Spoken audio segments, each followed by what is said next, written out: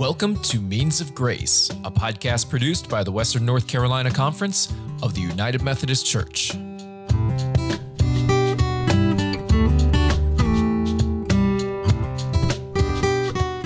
Hello, and welcome to the Means of Grace podcast of the Western North Carolina Conference of the United Methodist Church.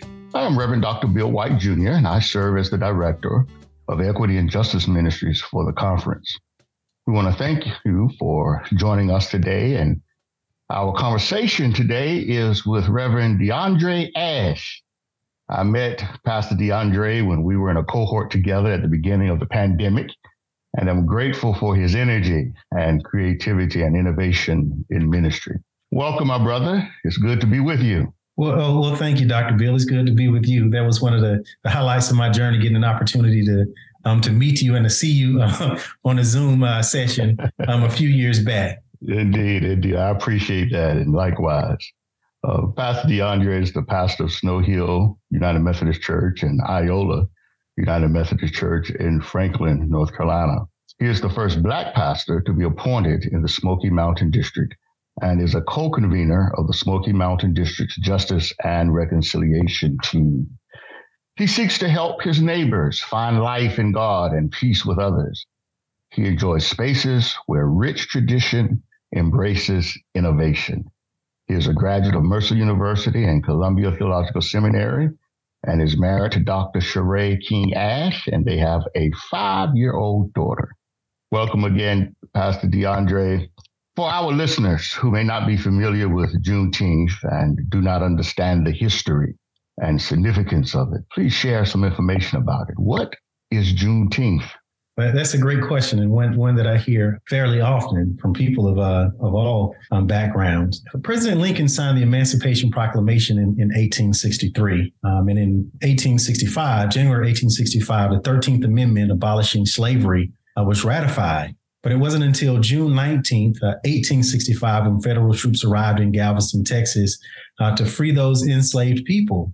And uh, Juneteenth is short for June 19th, and it marks that, that special day in world history. Um, interestingly enough, on June 17, 2021, it officially became a federal holiday. Thank you for that. I'm sure you do get that question quite a bit, um, as you said, from all points of society and various communities. But why do you think Juneteenth is important? Why is it important to the African American community and, and to all Americans, really? Dr. Bill, I learned about Juneteenth probably about 10 years ago. Um, mm-hmm. And one could assume that it is kind of a, a familiar celebration to um, every community or, or, every Black community. Um, I was working with a person who was from the, the Gulf Coast, and uh, the Juneteenth celebration had been a part of her family's history for generations. And so it's believed to be one of the long, the longest standing um, African American holidays. And so it's important for that reason. But I think it's also important because as you know, the, the ideals of this country are high and uh, difficult to achieve and difficult to live out. In fact, it's not um, without struggle um, that people in this country achieve the justice and the equity that the land promises. And it's difficult to live out. Yet, any community or person that looks up and realizes that they are marginalized, that there is a need for more equity, they can know that there is a pathway forward to that justice and to that freedom and, and to that equity. And I just believe that every community's story is important to the larger story of American history, and particularly to God's story and narrative of redemption in the world. Amen. I, I like the fact that you said every community story is important. Yes, um, and it is directly tied to God's story and creation uh, of redemption and salvation. We hosted a podcast in February that focused on Black history and reiterated the fact that Black history is world history, that our Indeed. story is a part of a larger story and Indeed. it's integral to the narrative. So I appreciate you sharing that. Dr. Bill, we, we have a we have a blessed story. Yes. Uh, in in it, we find the story of struggle. We find the story of redemption. We find the story of freedom. Um, out of this story was birthed world leaders, um, like Dr. Martin Luther King Jr., who was who was shaped by struggle, um, who was um, shaped by the civil rights movements, and his gifts fit the moment. Mm-hmm. And uh, and so, because of um, our story, we have gifts to share with the world. Yes, well, we appreciate you helping us share our story. You've been responsible for planning the Juneteenth celebration in Haywood County in Waynesville specifically for I think the past three years. Tell us about the celebration there and how it came to be. In early 2021, Reverend Linda Kelly was the district superintendent in the Smoky Mountain District.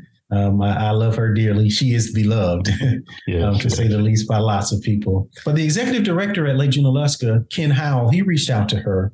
And Ken Howell, the executive director at Lake Junaluska, reached out to Reverend Kelly and they had a conversation about having a Black Lives Matter service at a worship service at, at Lake Junaluska. And if you can recall, um, tensions were high, um, to say the mm-hmm. least, uh, nationally. And I can imagine in small pockets and communities like Haywood County, um, where Lake Junaluska is.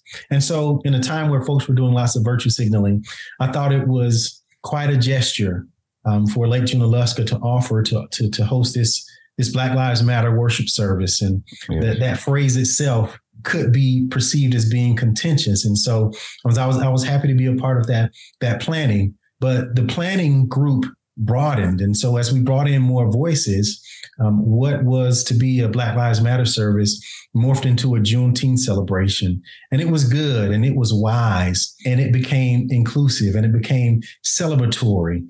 And so our, our mission, our mission was formed and uh, we brought worship and celebration and education to hundreds of people each year that we've that we've hosted the event. Wonderful. Last year's celebration was another wonderful event, well attended, as you said, diverse, which I know was one of your emphasis um, to make sure that it was inclusive of the entire community. Yes, sir. That was uh, extremely important to us. And so we made sure, in, order for that to happen, that we included um, a, a, variety of voices, folks from different spaces and places, to make sure that they had input on the planning, to make sure that the vendors um, were diverse, to make sure that um, some of the performers and educators that were part of the celebration um, represented diverse voices, and uh, I, I, think it proved to be a, a, wise strategy. Indeed, indeed, diverse yet focused on indeed. the story of, of African American Black people in this country. Um, would you give us more information about this year's celebration? I understand it has grown tremendously uh, just in the past year as you've been planning, and will be a little different this year. Would you tell us about that? Yes, sir. Um, a part of our mission is to is to worship, to celebrate, to educate, and to engage in, in conversations. And so each year we we lean into one or more of those um, those emphases um, from year to year. And the first year was a, a worship. You know, it was, it was a worship service, and um, and we can kind of dive into the the theological underpinnings uh, uh, on that particular um, celebration. And the following year, it was more celebratory. Um, we had um, a gospel choir. Uh, we had some performers from Western Carolina University. Um, Dr. Tiffany Johnson was was amazing. Yes, she was. And, um, and this year, it's kind of morphed into a a community event which was part of the vision of some of the uh, original planners um, of this event. The idea was that this would be this would this would start here with us, but we would include the community and eventually hand this particular celebration off to the community. And so um, there are participants from, from local NAACP groups. Um, there are pastors from AME churches in the regions who in the region who are on this planning committee, and um, it's become this year will be more like a street festival. Um, so that we'll, we'll have the DJs and we'll have the moonwalks and we'll have the vendors and the food trucks and it'll be a celebratory event.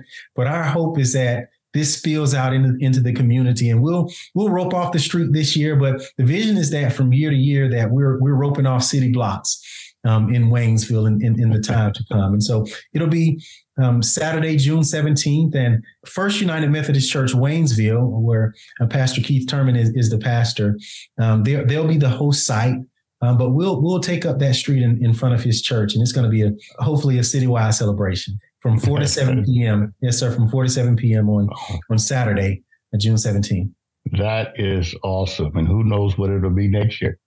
who knows what it'll be next year? Who knows what it'll that's be? The way, year. That's the way God moves, isn't it? Absolutely, absolutely. That was one of my um, positive learning moments, um, kind of in, in in the Methodist circles we sat and we planned and we talked and we thought and we prayed. And we really believe that the Holy Spirit has moved us along along this journey to, to where we are now.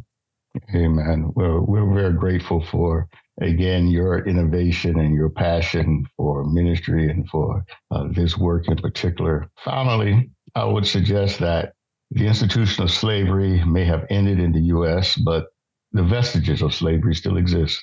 There are many current examples of racism, which by definition is institutionalized prejudice, power, and influence combined to oppress people of color. It will take everyone, particularly our Anglo white allies and friends, to confront and end the sinful practice of racism and to value others as people created in the image of God.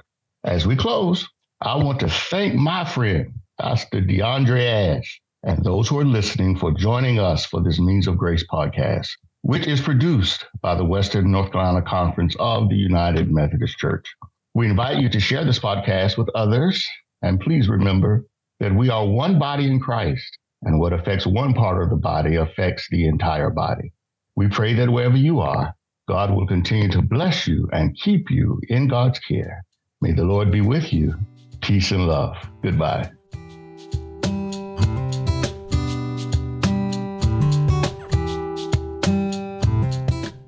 Thank you for listening to Means of Grace, a podcast produced by the Western North Carolina Conference of the United Methodist Church.